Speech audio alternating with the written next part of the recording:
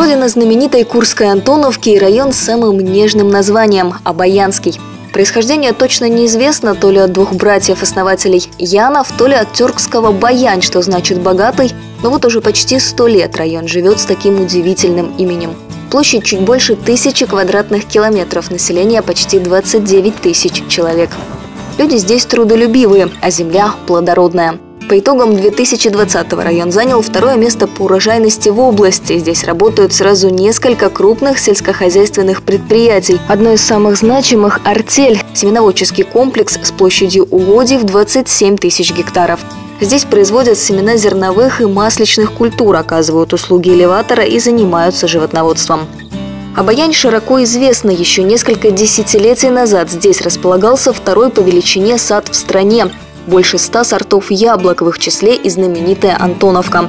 Путешествовали в разные уголки России. Сегодня былую славу возрождают. Лидер района Зоринский сад с площадью свыше 500 гектаров выращивает соблазнительно ароматные яблоки, сливы, черешню и вишню.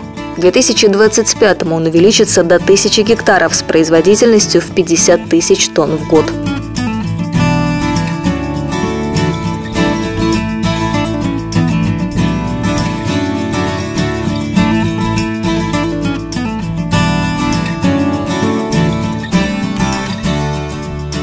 Важная часть экономики района – промышленность, ведущий свою историю с начала 30-х годов прошлого века Обаянский консервный завод и сегодня славится высоким качеством товаров. Повидло, вкусные начинки, фруктовые пюре и томатные продукты конкурируют с федеральными брендами на столичных прилавках. Развивается малое предпринимательство, открываются новые производства.